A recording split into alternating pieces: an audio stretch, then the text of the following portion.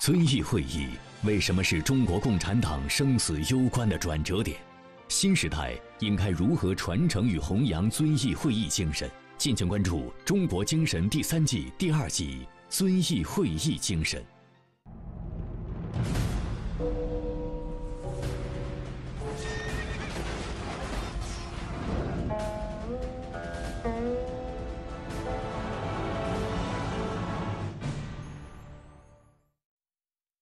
一九三五年一月，在贵州遵义城中一幢青瓦灰砖砌就的两层小楼内，中国共产党召开了一次具有伟大转折意义的会议。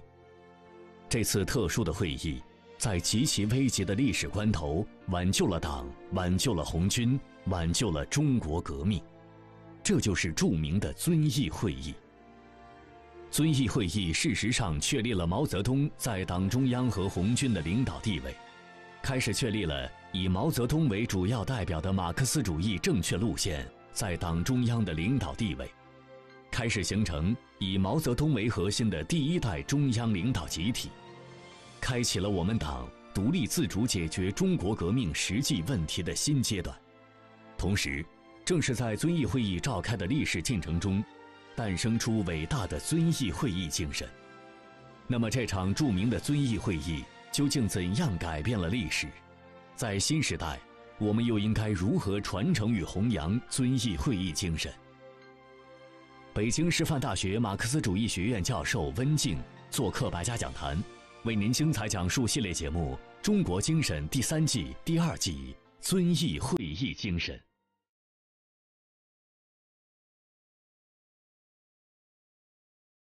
大家好，欢迎大家和我一起走进中国精神。一九六零年五月，英国陆军元帅蒙哥马利访问中国，他对毛泽东说：“您指挥的辽沈、淮海、平津三大战役，可以与世界历史上任何伟大的战役相媲美。”毛泽东微笑着摇了摇头说：“三大战役没有什么，四渡赤水。”才是我的得意之笔啊！为什么毛泽东会把四渡赤水作为自己的得意之笔呢？因为四渡赤水是红军长征以来的第一次大胜利，也是毛泽东通过遵义会议取得红军指挥权后的第一次大胜利。在这场以少胜多的著名战役中，三万中央红军六次穿越三条河流。巧妙穿插于四十万湘军、川军、滇军和国民党中央军各部队之间，牢牢掌握战场主动权，用铁一般的事实证明了遵义会议的正确性。遵义会议召开前，红军长征已经走了三个月，行动迟缓，处处被动。湘江战役更是让大家对左倾军事指挥的怀疑和不满。到达了极点。开一个政治局扩大会，总结经验教训，明确下一步行动，是党和红军的领导人酝酿了很久的想法。但是，在哪儿开，什么时候开，谁也说不准。这得由瞬息万变的作战形势来决定。一九三五年一月六日，红军总参谋长刘伯承。找到红一军团第二师第六团的政委王吉成，把夺取遵义的任务交给了他。刘伯承说：“现在我们既要求打胜仗，又要求伤亡少，还要节省子弹，所以要多用脑。”六团的战士先是冒雨奇袭了遵义城外的据点，然后让侦察排化妆成敌人，准备智取遵义城。城楼的守军果然上了当，自己打开了城门。就这样，遵义成为红军长征以来占领的第一个大城市。地方有了，开会时间能保证吗？这就要看军委二局的情报工作了。毛泽东把他们比作走夜路的灯笼。一进遵义，破译科科长曹祥仁就开始通宵达旦的工作。情报显示，薛岳的中央军留驻贵阳，何键的湘军忙着和红二、红六军团作战，上官云相的部队还在鄂豫交界，遵义周围的兵力非常空虚。蒋介石想要围攻遵义，从调配部队到组织进攻，怎么也得十多天吧。掌握了这些情况，党中央下定决心在遵义。召开政治局扩大会议。一月十五日晚上七点多，遵义会议在百徽章的公馆里召开。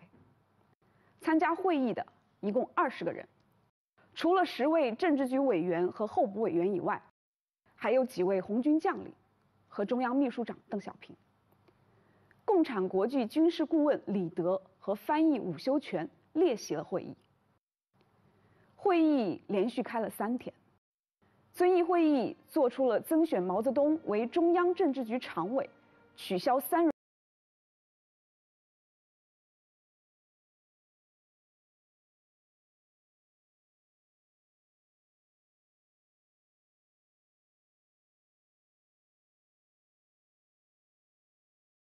遵义会议前后，中央还召开了通道会议、黎平会议、侯场会议、鸡鸣三省会议、扎西会议。狗坝会议、会理会议等，党中央的正确决策和遵义会议精神，是在这一系列会议中逐渐形成的。当然，遵义会议是其中的核心和关键，集中彰显了实现伟大转折的强大精神力量，所以称为遵义会议精神。遵义会议是长征的转折点。也是中国革命和中国共产党生死攸关的转折点。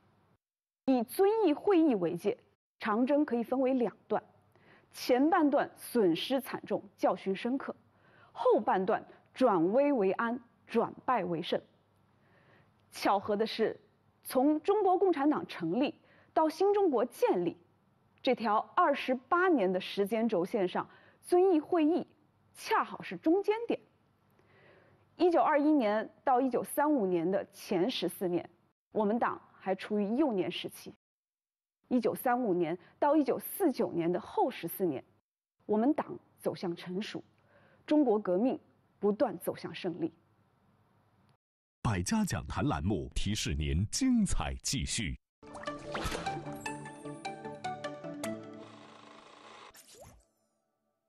遵义会议召开前夕。中国共产党和中国工农红军陷入了极度危险的境地。经过湘江战役后，中央红军从长征初期的八万余人锐减到三万左右。中国革命在左倾错误思想的阴影下，正滑向更加黑暗的深渊。就在此时，遵义会议的胜利召开，让党和红军转危为安，化险为夷。同时标志着中国共产党逐渐走向成熟，中国革命从此开始阔步迈向光明的未来。遵义会议精神，也由此成为了中国共产党人血脉中的红色基因，成为中国共产党在一系列艰巨复杂的革命斗争中不断取得胜利的精神源泉。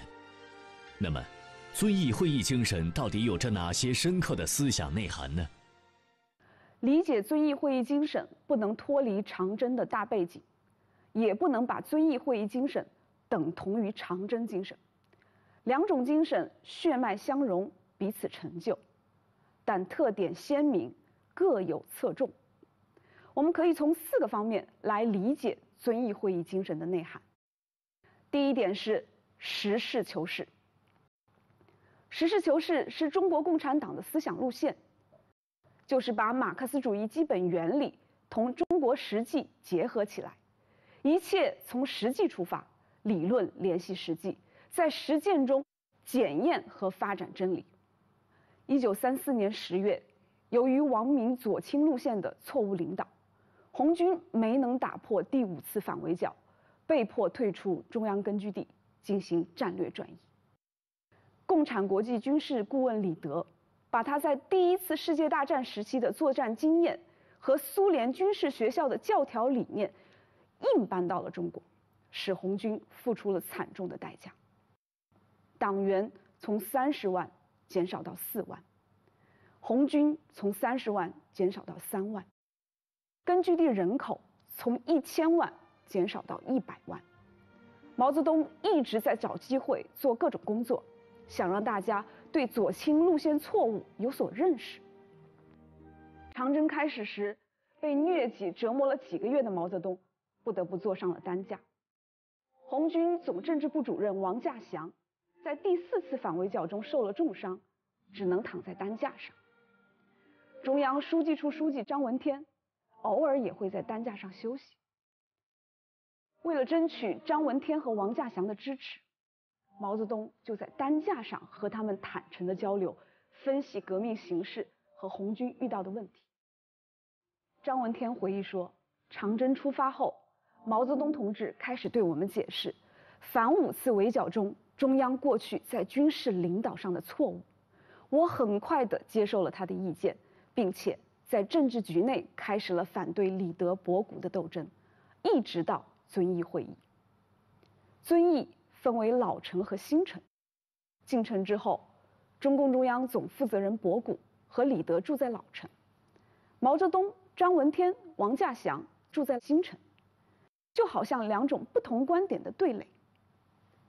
在遵义会议上，许多红军将领对李德的瞎指挥提出了严厉的批评。毛泽东一针见血地指出，前四次反围剿能以少胜多，第五次反围剿却失败了。归根到底是军事指挥的问题，是忽视红军运动战的传统，脱离红军实际情况所造成的。他批评李德，只知道纸上谈兵。不考虑战事要走路，也要吃饭，也要睡觉，也不问走的是山地、平原还是河道，只知道在地图上一画，限定时间打，当然打不好。遵义会议撤销了博古、李德的指挥权，解决了最紧迫的军事问题和组织问题。遵义会议之后，陈云代表我们党。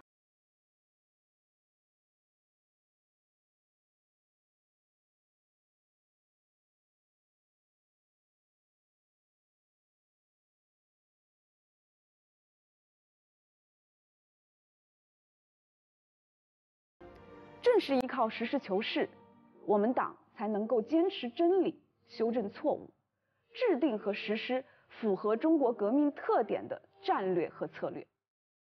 历史证明，坚持实事求是就能兴党兴国，违背实事求是就会误党误国。第二点是独立自主。一九六三年九月，毛泽东在会见外宾时。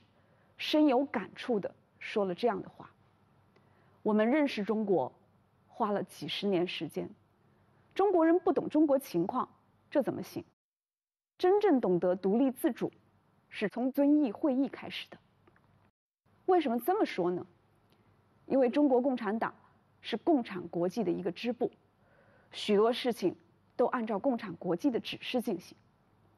毛泽东打比方说，过去我们。”就是由先生把着手学写字，纲领由先生起草，中央全会的决议也由先生起草。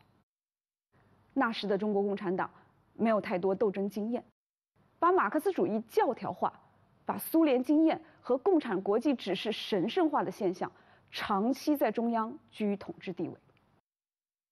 长征开始后，越来越多的人意识到，中国革命要靠中国同志。了解中国情况。恰好这个时候，我们党和共产国际联络的电台被打烂了，客观上就摆脱了共产国际的遥控指挥。一九三四年十二月十二日晚上七点半，中革军委发出了一份标注“万万火急”四个字的电令，情势紧迫，可见一斑。当时，博古和李德坚持要北上湘西。但国民党的各路追堵部队已经到位了，湘西北沿线是工事密布，几百座碉堡、数道封锁线严阵以待。难道要让几万红军往包围圈里闯？危急关头，我们党在湖南省通道县召开了紧急会议。毛泽东据理力争，提出了西进贵州的意见。因为贵州军队大多是双枪兵，一杆鸦片烟枪，一支步枪或手枪，体质很虚弱，装备也落后。毛泽东的意见得到了大多数人的支持，而争论失败的李德恼羞成怒，中途退出了会议。中革军委当机立断，下达万万火急电令，完成了通道转兵。这是中央第一次否定李德的主张。红军进入贵州省黎平县之后，博古和李德还没有放弃北上的计划，向何处去的争论变得更加激烈。为了明确战略方向，中央召开了长征以来的第一次政治局会议。毛泽东坚持继续西进，在以遵义为中心的川黔边地区创建新根据地。大家接受了毛泽东的意见，并根据他的发言形成了正式的决议。但李德对这个结果极为不满，冲着周恩来大发雷霆。黎平会议做出了战略决策上的转变，为遵义会议纠正错误的军事路线做了准备，所以被称为。遵义会议的前奏。黎平县还有一个别称，叫“曙光之城”，就是因为黎平会议给党和红军带来了根本性的变化。红军将士们就像看到了黎明的曙光一样。比如，总政治部要求各级政工人员要做好宣传解释工作，要使每个战士都了解当前的任务。这就和长征刚开始的所谓严格保密，形成了鲜明的对比。遵义会议和前后一系列会议从酝酿到召开的过程，正是我们党尝试着在没有共产国际的干预下，自主的解决自身问题的过程。遵义会议能够召开，本身就是中国共产党人发扬独立自主精神的一次成功实践。这次会议。是党独立自主的解决党内重大问题的新起点，标志着我们党在政治上逐步走向成熟。百家讲坛栏目提示您：精彩继续。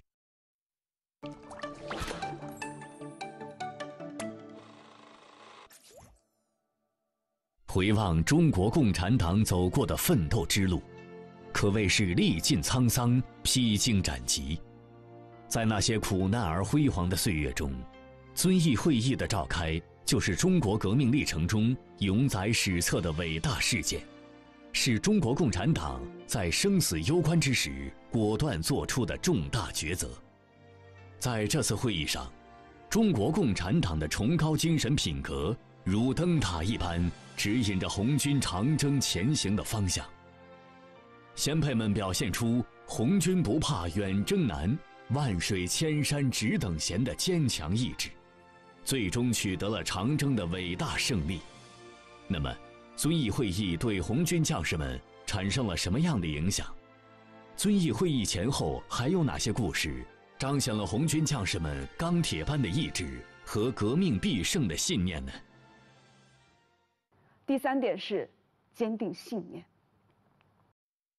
这一点不光表现为毛泽东。周恩来、朱德等领导同志在极端困难条件下的坚韧和对共产主义理想的执着，也表现为全党和红军指战员坚信革命必胜、坚定不移跟党走的英雄气概。遵义会议上有一位特殊的参会者，就是李德的翻译吴修全。李德作风粗暴，动不动就骂人、训人。伍修权一直任劳任怨地完成工作。开会的时候，他全神贯注地听着每个人的发言，然后快速地翻译成另一种语言。大家对李德激烈的批评，李德不服气却又苍白无力的辩解，都由伍修权一刻不停地来回传递着。两边不能直接沟通的怨气和怒气，也都一股脑儿抛给了伍修权。不过，伍修权并不在意这些，因为遵义会议的决定使他对中国革命的前途充满了信心。他在会议期间写了一首诗《七律》，历史转折，表达自己激动的心情。铁壁何为难突破，暮色苍茫别洪都。强渡湘江雪如注，三军今日奔何处？娄山关前鏖战急，遵义城头赤帜树。剁手一役齐将虏，革命从此上新途。这首诗对红军在长征初期的艰难处境和遵义会议召开的重大意义，做了真实而形象的描述。长征中有一个特殊的群体。女红军，她们不仅要经历路上的各种艰辛，还要经受女性生理极限的痛苦。有的人终身丧失了生育能力，有的人靠一双小脚走完了长征，有的人刚生下孩子就不得不骨肉分离，还有的人连名字都没有留下就牺牲了。女红军承担了许多后勤保障工作。比如打扫战场、救护伤员、运粮食、编草鞋等等。由于国民党的污蔑和恐吓，很多老百姓对红军抱有敌意。女红军就发挥特有的亲和力去做群众工作，宣传党的政策、红军的宗旨和革命的理想。主力红军进入遵义之前，女红军就联系了遵义的进步群体和进步组织。在城里张贴文告，消除人们对红军的误解。长征中还有一个特殊的人，就是独腿走完长征路的红十二团政委钟赤兵。遵义会议后，红军再次攻打娄山关，为了占领阵地，钟赤兵在右腿受了重伤之后，仍然拒绝后撤，一直坚持到整个战斗结束。但连续带伤作战的钟赤兵错过了最佳治疗时机，只能马上截肢。没有麻药，没有工具，医生找老百姓借了一把砍柴刀、一把木匠锯来做手术。由于伤口反复感染，钟赤兵在半个月内接受了三次截肢手术，承受了难以想象的痛苦。同行战友回忆说，他过雪山的时候都没让人抬。一点点的往上爬。凭着坚定的信念和顽强的意志，钟赤兵以重伤之躯，奇迹般的走完了长征。在共产党员的心中，艰难可以摧残肉体，死亡可以夺走生命，但没有任何力量能够动摇共产党人的理想信念。正是因为对理想信念的执着坚守，党和红军才能在。第五次反围剿失败和长征初期严重受挫的情况下，冲破左倾教条主义的束缚，一次次的化险为夷、绝境重生，可谓几经挫折而不断奋起，历经苦难而淬火成钢。第四点是民主团结。参加了遵义会议、有着丰富的党内政治生活经历的邓小平曾经说。从毛刘周朱开始，中国共产党才真正形成了一个稳定的、成熟的领导集体。以前的领导都是很不稳定，也是很不成熟的。从陈独秀起，一直到遵义会议，没有一届是真正成熟的。遵义会议之后，以毛泽东为核心的民主、团结、成熟的第一代中央领导集体开始形成。遵义会议有三个报告，第一个是主持会议的博古做的，关于反对第五次围剿的总结，这是主报告。他把失败的原因归结为客观因素，比如国民党力量太强大，白区和苏区配合不够，瓦解敌军做得不好。他不承认自己和李德在军事指挥上有什么错误。第二个是周恩来做的。关于军事问题的副报告，周恩来认为，第五次反围剿失败的主要原因是战略战术的错误。他主动承担了责任，也批评了博古和李德的错误。第三个是张闻天做的，他拿了一份详细的发言提纲，一开口就说，博古同志的报告基本上不正确的，他的发言被称为反报告。实际上，这个提纲是经过毛泽东、王稼祥和张闻天三个人讨论的，当然主要是毛泽东的意见。一主一复一反，三个报告一出。会场呈现出两种完全对立的观点。毛泽东站起来发言，他边摆事实边讲道理，系统的批判了博古和李德的左倾军事错误。大家纷纷发言批评博古和李德。开会的三个晚上，大家各抒己见，畅所欲言。最后按照少数服从多数的原则，形成了会议决定。一九三五年二月五日，红军来到一个。鸡鸣三省的村子，周恩来找博古进行了一次推心置腹的谈话，史称“周博长谈”。周恩来说：“我们党必须找一个熟悉农村革命的人当统帅。你和我都是做具体业务的人，不适合做领袖。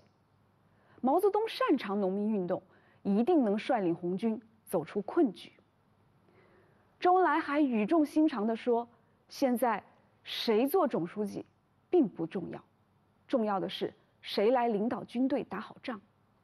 只有在战争中不断得到军队拥护的人，才能真正成为党的领袖。”这次谈话让博古对自己有了进一步的认识，也解开了他的思想疙瘩。很快，博古就把中央的印章和重要文件交了出来。最后，大家决定。由张闻天接替博古在党内负总责。这样一来，张闻天的职务最高，周恩来是对军事下最后决心的负责者，但他们都没有争揽权力，而是将实际指挥权交给了毛泽东。所以说，遵义会议是发扬民主团结精神的一个典范。他先解决最紧迫的军事和组织问题。把政治路线和思想路线等深层次问题留待时机成熟再解决，这就尽可能的团结了大多数同志。同时，他又依据民主集中制的原则，充分开展批评和自我批评，统一了党和红军高级领导人的思想。这种精神也成为长征胜利的重要因素。百家讲坛栏目提示您：精彩继续。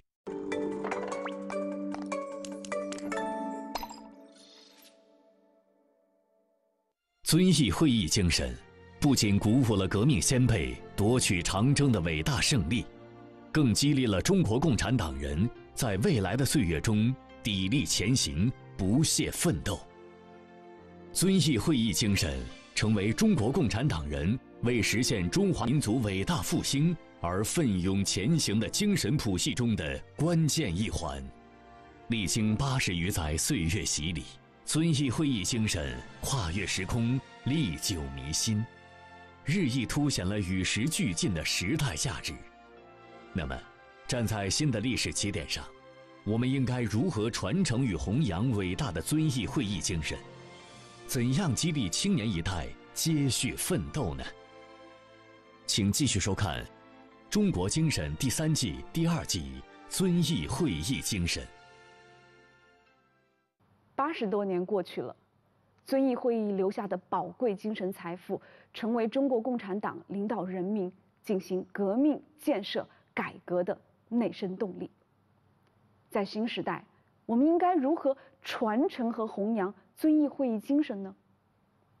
第一，根续精神血脉，传承红色基因。遵义有许多与红军相关的地名，比如红军山。红军街、银虹桥，还有许多历史记忆，比如娄山关战斗遗址、狗坝会议会址，他们是遵义会议精神的重要载体，影响了一代又一代遵义人的精神世界。二零一零年，一个刚满十九岁的遵义青年，在红九军团司令部旧址旁，正式穿上了军装。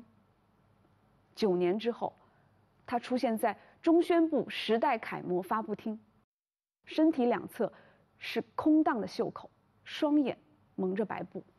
他叫杜富国，一名九零后扫雷排爆战士，先后进出雷场一千多次，累计排出爆炸物两千四百多枚。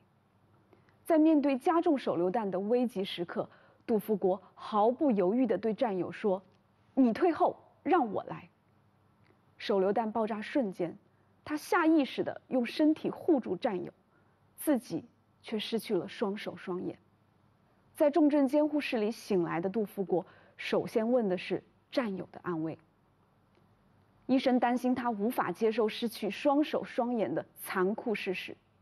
但是杜富国表现得异常坚强。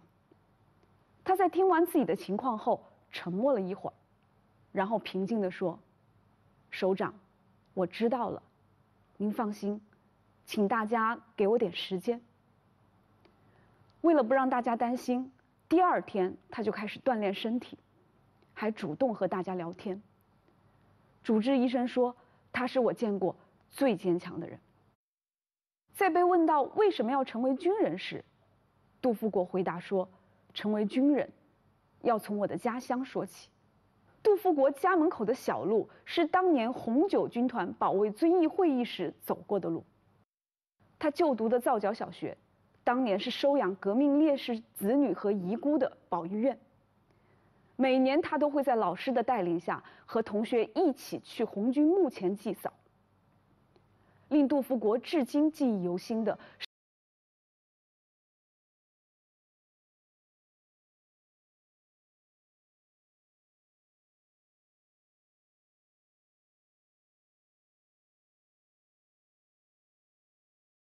宣布在授予“时代楷模”称号的决定中写道：“杜富国同志是红色老区培养出的优秀儿女，是用生命担当使命的新时代英雄战士。”那句“你退后，让我来”，正是在遵义会议精神中浸润出来的英雄气概，正是由红色基因凝聚而成的时代丰碑。第二，读懂精神密码，坚定四个自信。二零二一年六月，习近平总书记在给北京大学的留学生们的回信中写道：“读懂今天的中国，必须读懂中国共产党。”我们也可以说，读懂中国共产党，就必须读懂中国共产党走向成熟的精神密码，读懂遵义会议精神。习近平总书记指出，遵义会议作为我们党历史上一次具有伟大转折意义的重要会议，在把马克思主义基本原理同中国具体实际相结合，坚持走独立自主道路，坚定正确的政治路线和政策策略。建设坚强成熟的中央领导集体等方面，留下宝贵经验和重要启示。我们要运用好遵义会议历史经验，让遵义会议精神永放光芒。读懂遵义会议精神，我们才知道中国共产党是怎么走过来的，认识到党从幼年到成熟的成长来之不易，新中国来之易。中国特色社会主义来之不易。毛泽东说：“不要先生，自己读书，自己写字，自己想问题。”这也是一条真理。一个政党要走向成熟，一个人也要走向成熟。遵义会议精神能够给新时代中国青年什么样的成长密码呢？那就是遇到困难不后退，遇到失败不气馁。不被教条束缚，也不在经验中迷失，找到适合自己的路，坚定地走下去。二零二零级的大学生都有一段特殊的成长经历：当高考遇到疫情，当人生大考遇上疫情大考，他们是怎么面对的呢？我给他们布置了一个小作业，写出我的抗疫故事。有一份作业。用第三人称以日记体的方式记录下了自己和家人的故事。二零二零年一月，小李的父亲是一名建筑行业的工作者，在小李的眼中，父亲深爱着自己的祖国和家乡。二零零八年汶川大地震，二零一三年雅安芦山大地震中，小李的父亲都在安顿好家人后的第一时间，逆着人流来到了重灾区，参与灾后重建工作。这一次，父子俩都做出了自己的决定。父亲只身前往了武汉，儿子进入了社区参加志愿者工作，就这样穿上了防护服。儿子的成长变化了观测背影的视角，不变的是那一比他矮的身躯在他心里的高度。这一次，小李选择和父亲一起勇敢。他在末尾无比感慨地写道：“或许这就是中国人，一旦大事来临，每个人都会坚定的勇敢，每个人都能挑起大梁。”这份作业只是当代青年精神世界的一个缩影。一个个看似平凡的青年人，在不平凡的时刻，读懂了精神密码，在不平凡的成长中，让自己与祖国同呼吸共命运。在抗击新冠肺炎疫情战役中，九零后、零零后成了一线主力军。在脱贫攻坚战场上，年轻一代正在奋力拼搏。他们相信这个国家，相信这个民族，相信党的领导和中国特色社会主义道路。一九三五年，毛泽东在娄山关大捷后，写下了著名的《忆秦娥娄山关》。可能很少有人注意到，毛泽东在这首词的自注里是这样写的：“万里长征，千回百折，顺利少于困难不知有多少倍。”心情是沉郁的，即使千回百折，心情沉郁，他仍然写下了。